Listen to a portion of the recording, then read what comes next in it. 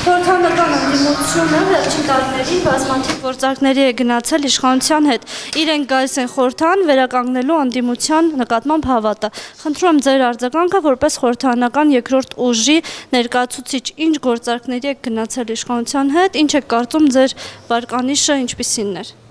Ոչ մի գործակների չեն գնացել չեն գնա, ինչ վերաբերում է մնացած մանրամասներին, կարծում եմ, որ պետք է իրենց հարցնեք, ոչ թե մեզ։ Այդքանը այն ուժերին, որոնք այդ կարծիքն են հայտնում։ Բայց քան նման ձեր Ես կարծում եմ, ես կարծում եմ, ես կարծում եմ, որ հիմա դուք միտված եք կրկին անգամ որոշակի ինչ որ sense հարցերի պատասխան ստանալ այն մարդկանցից, ովքեր այդ հարցերի հեղինակները չեն։ Հորդորում եմ հարցերի հեղինակներին դիմեք։